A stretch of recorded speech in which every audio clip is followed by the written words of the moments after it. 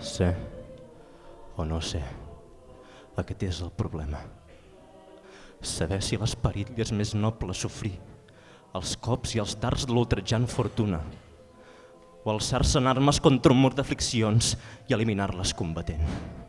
Morir, dormir, res més que això, i amb un son aturar els sofriments del cor i els mil dolors connaturals heretats per la carn.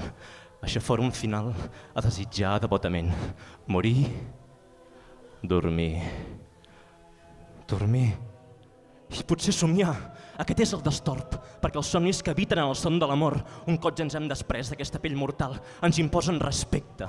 És aquest pensament que dona a la calamitat una vida tan llarga, perquè si no, qui podria aguantar les fuetades i les burles d'aquest temps? L'insult de l'opressor, l'ultratge del superb, el sofriment de l'amor menys tingut, la lentitud de la justícia, la impertinència dels poderosos i el disseny que el mèrit pacient rep dels indignes, si pogués emetir saldar el seu compte amb una simple daga. Qui en portaria el pes amb queixes i suors durant tota una vida extenuada, si no fos per la por d'alguna cosa més enllà de la mort? La mort. Aquest país no ha descobert que no permet tornar de les seves fronteres a cap dels viatgers i que confon la voluntat i fa que suportem els mals presents més que anar cap uns altres que en som desconeguts.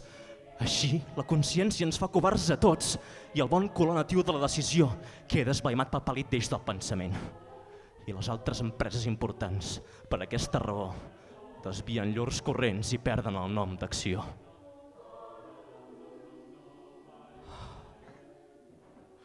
Però ara, silenci. When